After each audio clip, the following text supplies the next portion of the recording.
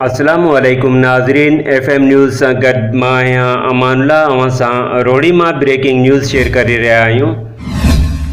روڑی لگ گوٹھ ॻोठु बसर ख़ान मितलो में गुज़िरियल केतिरे अर्से खां बिजली जूं तारूं ज़मीन ते किरियल روڑی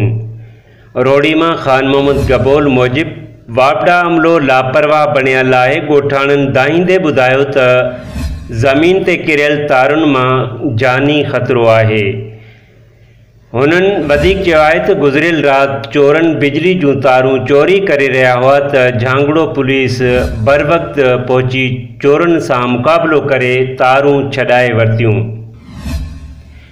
ॻोठाणनि वधीक ॻाल्हाईंदे चयो त जेकॾहिं असां जूं तारूं चोरी थी वियूं त बाबडा अमलदार जवाबदार हूंदा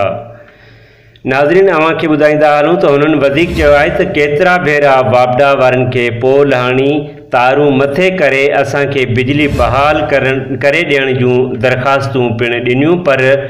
कंहिं बि को बि अमल न कयो